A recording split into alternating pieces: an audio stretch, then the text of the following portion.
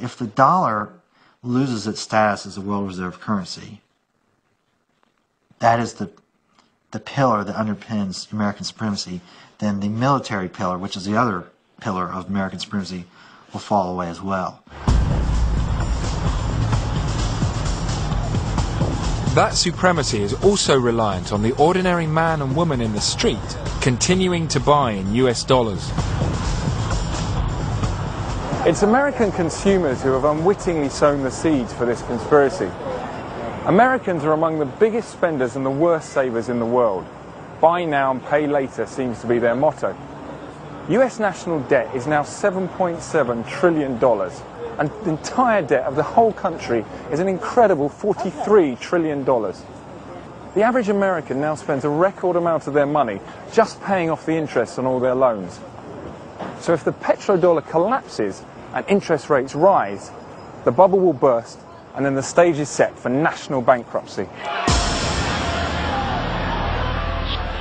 If that happened, um, you know, that would really be catastrophic for the dollar.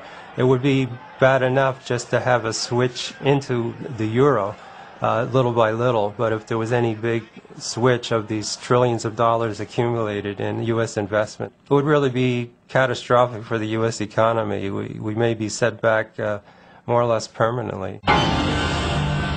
When you have that many dollars unleashed, you would have a massive devaluation massive inflation. The whole world economic order would be changed, and the United States would really be in a world of hurt. Teetering on the knife edge of financial meltdown, the US has always needed to keep a firm hand on the trading of its oil dollars. But in November 2000, the most serious attack on the sacred dollar was about to take place. If left unchecked, it could have been an economic Pearl Harbor.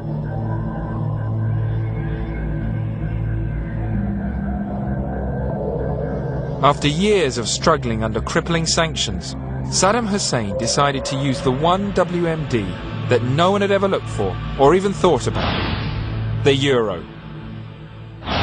There was a guy once named Saddam Hussein who said, You know, I I'm kind of mad the United States bombing me and Britain too, so I'm going to sell oil in the euros.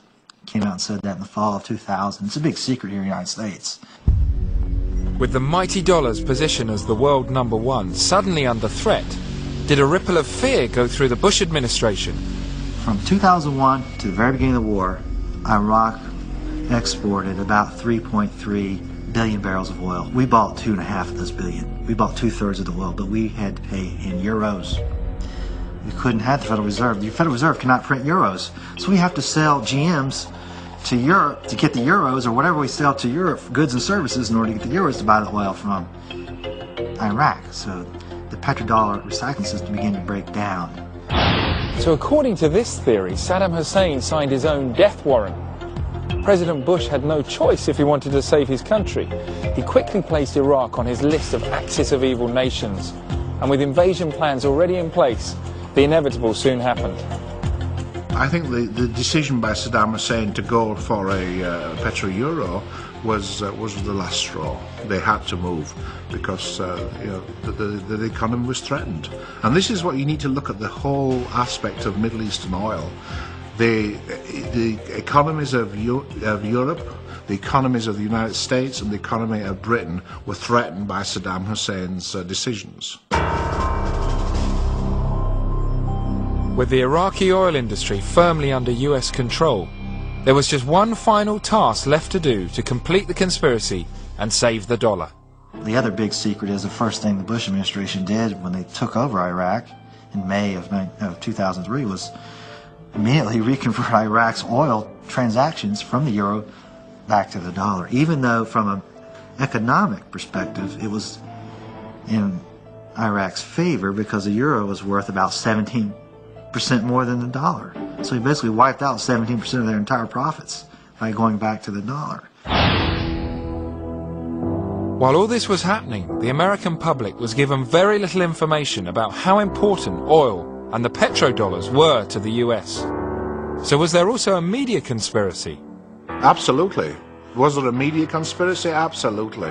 But you have to understand how the media works in Washington. If you go against this administration, they pull your credentials tomorrow. There are some of the, the leading reporters have been told, you're asking the president too many hard questions. And they've been said, if you don't stop asking these hard questions, you will have your credentials pulled. If you get your credentials pulled, you don't go to press conference in the White House.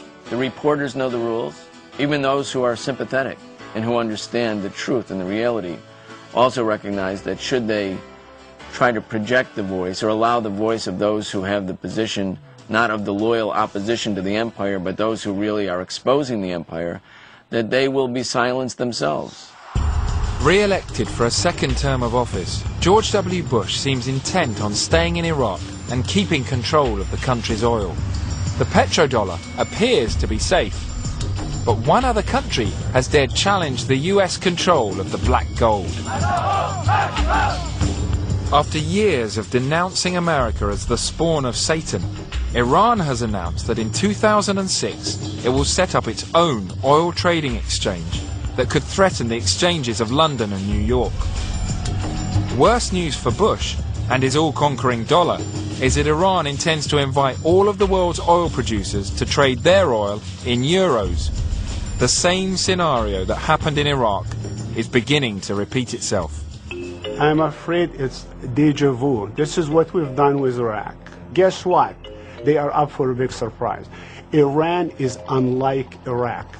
Population wise, Iran is more than double Iraq. As far as the terrain and the territory, it's a harsher country. You know, it's mountainous, uh, resistance could be incredible. They were hoping that the invasion of Iraq would send a message to other countries that are contemplating going off the dollar standard. You know, that obviously hasn't worked out the way they intended it to. So it remains to be seen how far they're prepared to go in order to protect dollar hegemony. And the unthinkable is already starting to happen. Saudi Arabia, which has the world's largest oil reserves, is showing an interest in switching its oil trades into euros. If Saudi Arabia makes the switch to euros, all other oil producing countries will follow suit. Is the US going to let this happen? Is America going to stand by and let countries switch to euros so America then loses its place as the world's superpower and loses all the money it gets in petrodollars? And if not, how far is the US going to go to stay number one? We could look upon the invasion of Iraq as a good thing. On the other hand, we could look at the beginning of, uh, of World War III. So there you have it. From WMDs to US dollars to securing global oil supplies, everyone seems to have a take on why we went to war. Now, according to the White House and Downing Street, the war was about freedom and democracy. But according to one explanation, an alternative theory, it was a huge conspiracy designed to secure nothing less than US global supremacy.